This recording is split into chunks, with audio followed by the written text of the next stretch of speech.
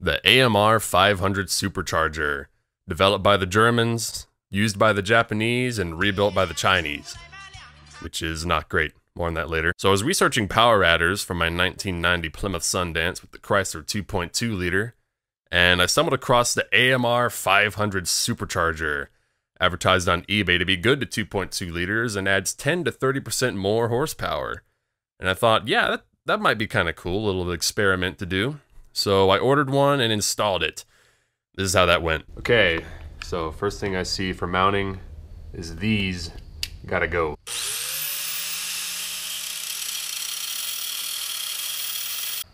Well, it's done. Should have clearance now.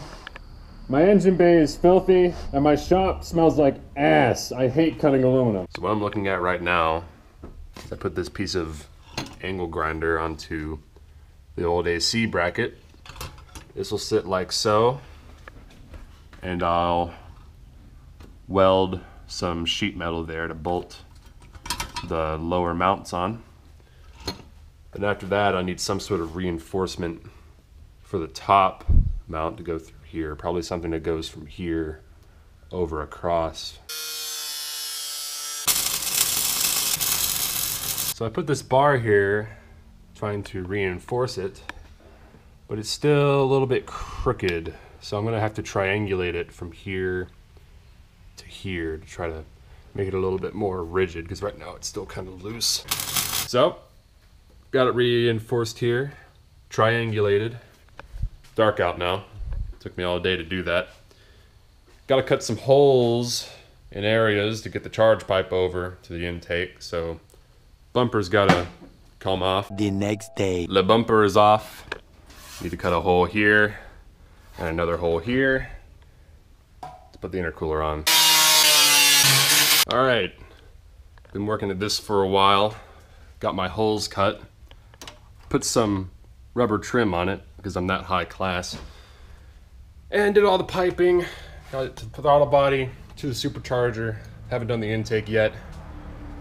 Basically just been plumbing for the past two and a half hours, pretty boring stuff. At this point I put the finishing touches on along with a blow off valve and it sounded good.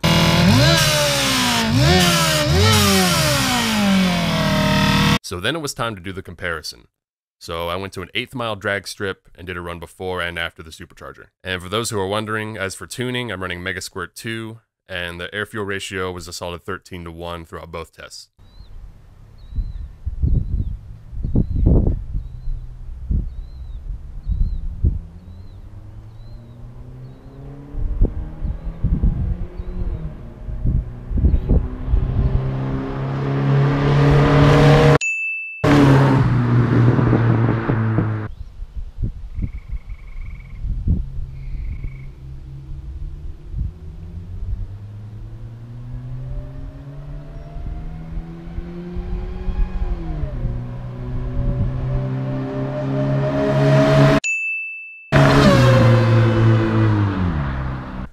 Slower. The supercharger just can't blow enough air. It's actually causing a restriction at full throttle and making the car slower rather than faster. The maximum RPM for this thing is like 16 grand, and I'm spinning it at, uh... Alright, let's see. Got it.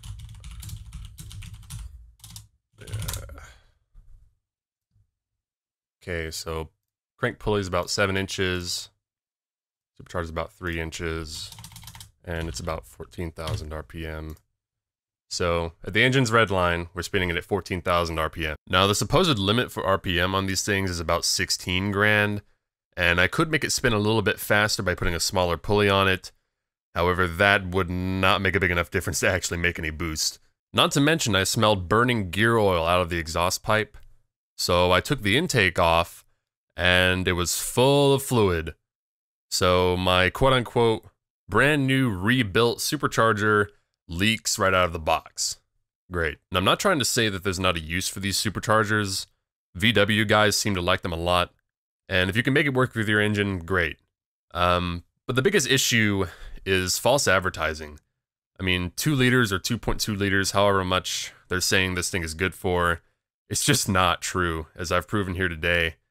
Um, I'd say the biggest engine that I would put one of these on is maybe a 1.6 liter.